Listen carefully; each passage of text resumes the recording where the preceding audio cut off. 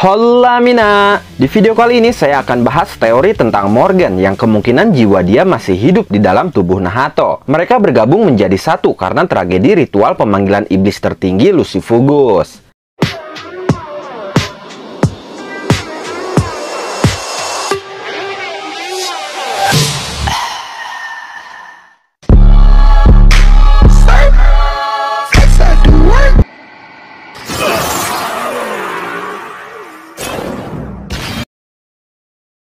Dalam manganya, sudah dijelaskan bahwa Nahato memiliki kembaran bernama Morgan Faust. Dia benar-benar sosok yang berbanding terbalik dengan Nahato. Di saat Nahato dikucilkan orang-orang karena kenakalannya, Morgan justru dicintai karena kebaikan hatinya. Di saat Nahato menggunakan sihirnya untuk kepentingan dan keuntungan diri sendiri, Morgan menggunakan sihirnya untuk menolong orang lain. Tapi sifat Morgan yang terbilang sempurna itu justru tidak cocok untuk menjadi penerus kepala keluarga Faust. Ayah mereka justru mewariskan gelar kepala keluarga Faust kepada Nahato. Keluarga Faust sendiri merupakan sebuah keluarga bangsawan yang mendalami demonologi atau ilmu tentang iblis. Mereka tertarik dan mempelajari semua hal yang berkaitan dengan iblis. Karena hal itu sifat baik Morgan itu tidak cocok dengan sesuatu yang berkaitan dengan iblis. Oleh karenanya, Nahato lah yang terpilih untuk menjadi kepala keluarga Faust selanjutnya. Di saat Nahato semakin jatuh tenggelam mempelajari demonologi, Morgan menjadi kesatria sihir terbaik bersama sahabat Nahato yaitu Yami. Suatu ketika karena Nahato sudah berhasil menjalin kontrak dengan empat iblis sekaligus, akhirnya orang tua Nahato percaya bahwa mungkin Nahato bisa menjalin kontrak dengan salah satu iblis tingkat tertinggi yang melayani tiga iblis penguasa yaitu Lucifugus.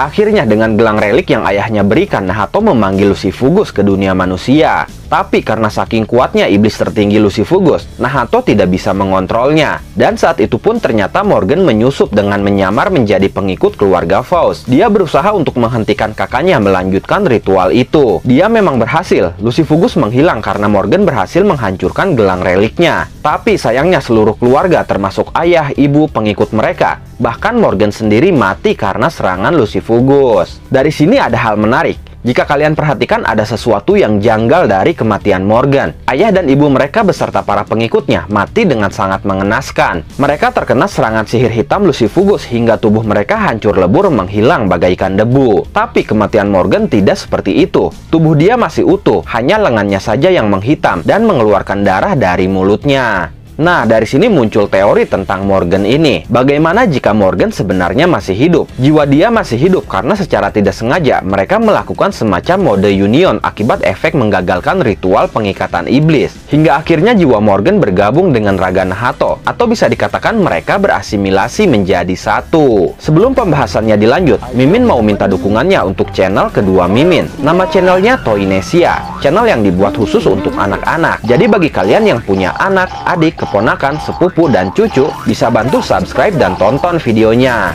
Untuk linknya sudah dicantumkan di deskripsi dan juga kolom komentar. Oke, terima kasih banyak Mina.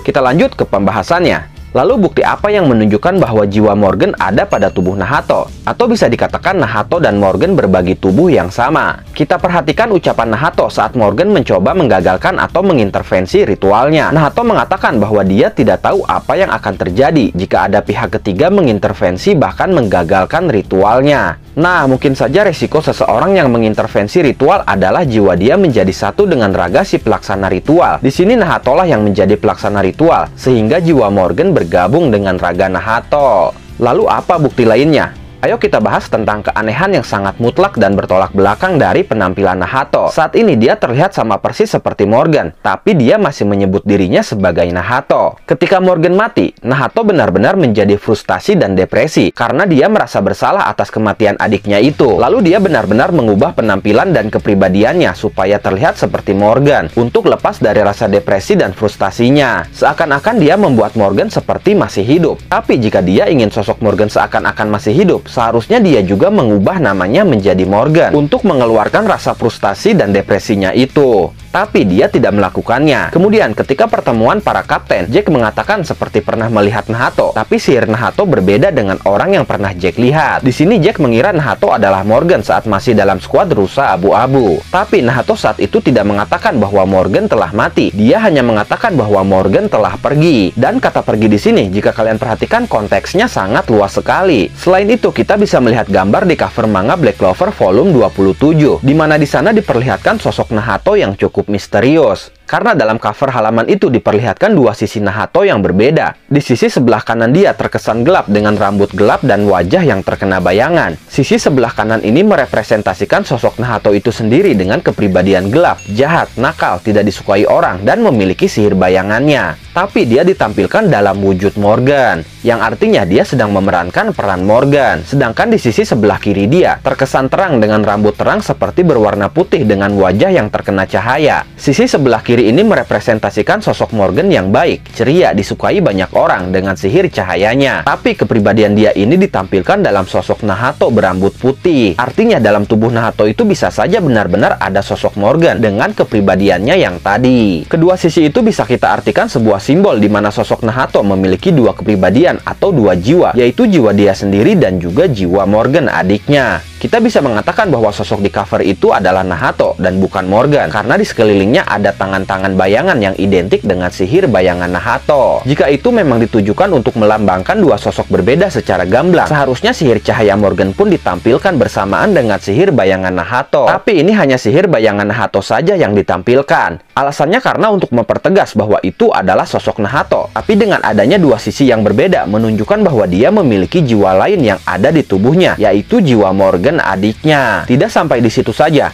masih ada bukti lain yang mungkin menjadi bukti kuat kalau jiwa Morgan berada dalam tubuh Nahato. Jika kalian perhatikan ketika awal kemunculan Nahato, dia terlihat membuka grimornya. Tapi anehnya di tas grimor dia seperti ada sebuah grimor lain. Dia terlihat memiliki dua grimor. Jika itu benar, seharusnya itu grimor milik Morgan. Karena sebuah grimor itu sendiri terhubung dengan jiwa dan bukan dengan raga. Contohnya grimor berdaun empat milik anak nyalih. Walaupun raganya milik Yuno, tapi karena jiwa anak nyalih bereinkarnasi dalam tubuh Yuno, grimor itu seakan-akan menjadi milik Yuno dan Yuno pun bisa menggunakannya dengan bebas. Begitupun dengan kasus Nahato, karena jiwa Morgan ada di tubuh dia maka dia pun bisa menggunakan Grimoire milik Morgan itu. Kasus satu tubuh dua jiwa ini sama seperti kasus William dan Patrick, karena mereka berbagi tubuh yang sama dalam tubuh William. Atau bisa saja jika bukan karena efek ritual yang Morgan gagalkan. Alasan jiwa Morgan berada pada tubuh Nahato, karena Nahato yang menyelamatkan jiwa Morgan sebelum pergi ke alam baka. Kita tahu di dunia Black Clover ada yang namanya Istana Bayangan, di mana tempat itu adalah sebuah ruang sihir antara dunia yang hidup dengan dunia yang mati. Jika seseorang mati, lalu ada yang melakukan melakukan ritual dengan sihir Noad Nepes, maka jiwa dia akan ditangguhkan dan akan berada di alam atau ruang itu untuk kemudian bisa dipanggil lalu dimasukkan ke dalam tubuh manusia hidup. Kasusnya sama persis seperti sihir reinkarnasi yang para elf lakukan. Menurut saya bisa saja Nahato melakukan hal yang sama untuk menyelamatkan Morgan.